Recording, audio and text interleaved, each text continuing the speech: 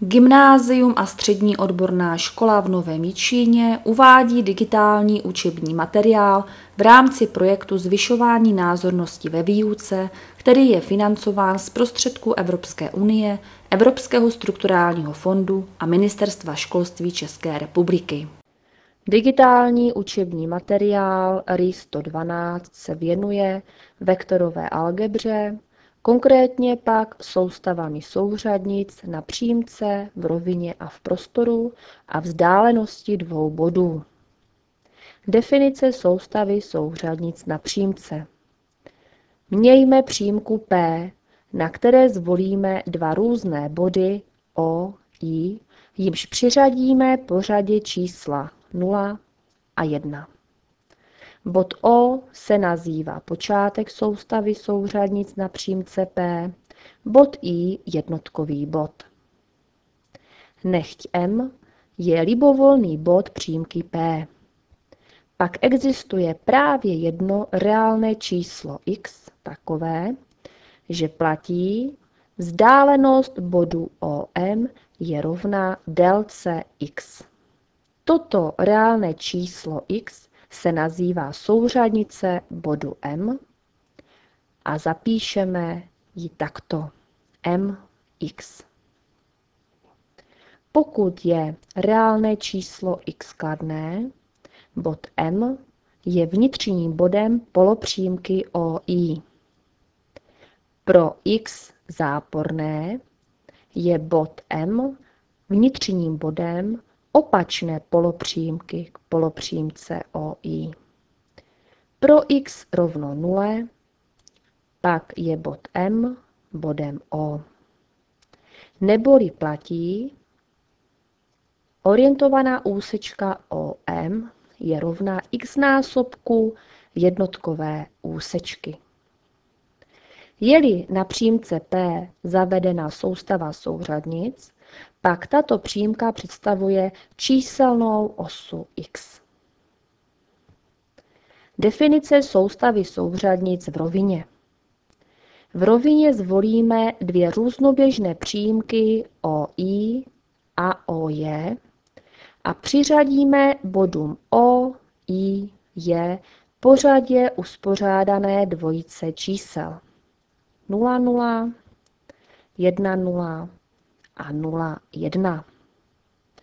Bod O se nazývá počátek soustavy souřadnic v rovině. Přímky OI a OJ se nazývají osy souřadnic a značí se X a Y. Nechť M je libovolný bod roviny.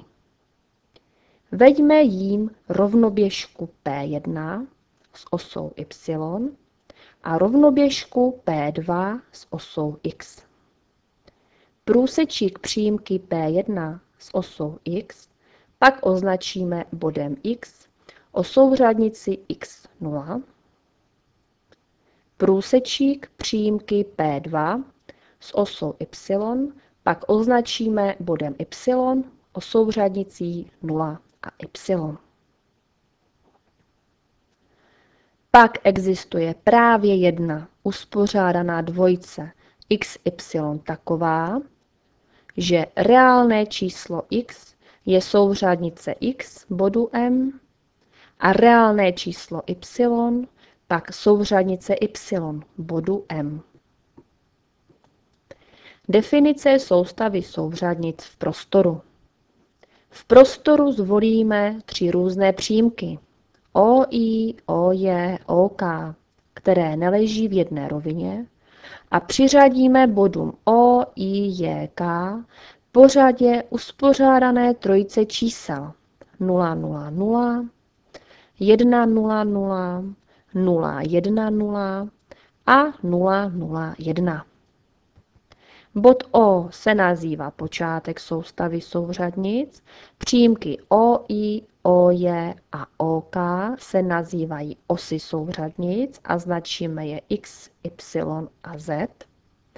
A roviny OIJ, OJK a OKJ se nazývají roviny souřadnic a značí se XY, YZ a zx. Nechť M je libovolný bod prostoru. Pro určení souřadnic x, y, z bodu M provedeme následující postup. Najdeme kolmý průmět M1 bodu M do roviny XY. Vedeme rovnoběžku s osou Y a její průsečík s osou X pak označíme bodem X. Dále vedeme rovnoběžku bodem M1 s osou X a její průsečík s osou Y pak označíme bodem Y. Dále si najdeme spojnici počátku s bodem M1 a vedeme s ní rovnoběžku, která prochází bodem M. Tato přímka protíná osu Z v bodě Z. Pak existuje právě jedna uspořádaná trojice x, y, z taková, že reálná čísla x, y, z určují pořadě souřadnice bodu M. Tuto soustavu souřadnic nazýváme pravoúhlou, též ortogonální soustavou souřadnic v prostoru. A to proto, že všechny osy x, y, z jsou k sobě kolmé. Jsou-li délkové jednotky na osách x, y, z stejné, nazýváme ji kartéskou, tež ortonormální soustavou souřadnic v prostoru. V tomto případě má náš bod M xovou souřadnici 2, y 5 a zetovou 4. Závěrem si nadefinujeme vzdálenost dvou bodů AB, to je délku úsečky AB. Na přímce P si zvolíme dva různé body AB. Bod A o souřadnici XA a bod B o souřadnici XB. Vzdálenost AB bodu na přímce je dána vzorcem AB se rovná absolutní hodnota xb minus xa, tedy je dána rozdílem souřadnic těchto dvou bodů. Vzdálenost bodů AB v rovině, kde bod A má souřadnice x a y a a bod B má souřadnice xb yb, můžeme určit z pravoúhlého trojúhelníku ABC s pravým úhlem při vrcholu C, a to pomocí Pythagorovy věty. Pokud dosadíme za délku odvěsny A a za délku odvěsny B, pak dostaneme vzorec, odmocnina rozdíl xových souřadnic bodu B a to celé na druhou plus rozdíl y souřadnic bodů B a to celé na druhou. Vzdálenost bodů A, B v prostoru, kde bod A je dán souřadnicemi x a y a z a, a bod B je dán souřadnicemi xb, yb, zb, můžeme opět určit z pravoúhlého trojúhelníka ABC s pravým úhlem při vrcholu C.